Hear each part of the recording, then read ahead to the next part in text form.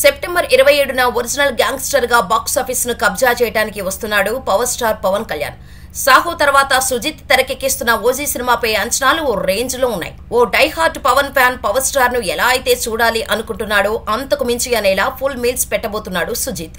ఇప్పటి వరకు రిలీజ్ అయిన ఒక్క హంగ్రీ చీతా గ్లింప్స్తో ఈ విషయాన్ని చెప్పేశారు. ప్రియాంక మోహన్ హీరోయిన్గా నటిస్తున్న ఈ సినిమాను డివివి దానయ్య నిర్మిస్తున్నాడు. ఇమ్రాన్ హష్మీ విలన్గా నటిస్తున్నాడు. అర్జున్ దాస్ శ్రీయారెడ్డి తేజ్ సప్రు ముఖ్య పాత్రలు పోషిస్తున్నారు. అయితే తాజాగా రజాకర్ సినిమాలో కీలక పాత్రలో నటించిన తేజ్ సప్రు ఓజీ మూవీ గురించి అదిరిపోయి న్యూస్ చెప్పాడు. ఆయన ఓజీలోనూ కీలక పాత్రలో కనిపించబోతున్నారట. ఇమ్రాన్ హష్మీ పాత్రకు తండ్రిగా కనిపిస్తాడట. ఇటీవల ఆయన ఓ ఇంటర్వ్యూలో మాట్లాడుతూ ఓజీ గురించి సూపర్ అప్డేట్ ఇచ్చాడు.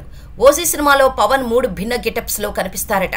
పవర్ స్టార్ పాత్రలో మూడు షేడ్స్ ఉంటాయని యూనియన్ లీడర్గా డాన్గా కనిపిస్తారని చెప్పారు. అలాగే పొలిటికల్ లీడర్గా కూడా కనిపిస్తారని తెలిపాడు.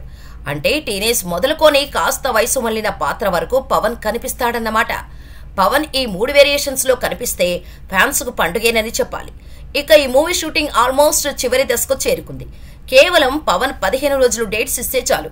ఓజీ కంప్లీట్ అయిపోనుంది. ఏపీ ఎలక్షన్స్ తర్వాత ముందుగా ఓజీ షూటింగ్లో జాయిన్ అవ్వనున్నారు పవన్.